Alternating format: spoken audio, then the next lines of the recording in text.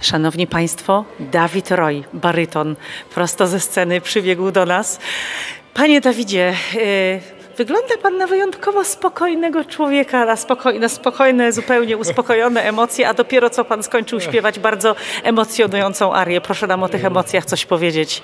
Ja myślę, że to y, staram się zachować pozory, bo jednak serce dalej wali jak młotem i no to są emocje, z których y, trzeba się pozbierać y, po, po, po występie.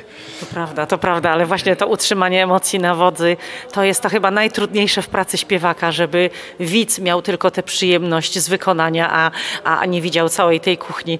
E, Panie Dawidzie, e, który etap panu się lepiej śpiewało? Pierwszy, drugi? Proszę nam coś opowiedzieć o tych kulisach.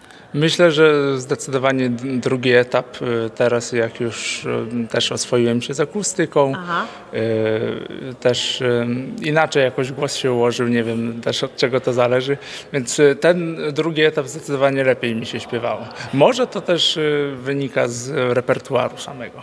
To myśl idąc tym tropem, to jest bardzo dobre teraz, co pan powiedział, bo idąc tym tropem, to trzeci etap będzie się panu śpiewało jeszcze lepiej, czego panu życzę oczywiście To bardzo mocno, coraz lepiej. Czekamy na wyniki jurorów. Wyniki będą już dzisiaj wieczorem. Trzymam kciuki, trzymam kciuki, bo widziałam pański repertuar w trzecim etapie i nie ukrywam, że bardzo bym chciała posłuchać tych arii z orkiestrą.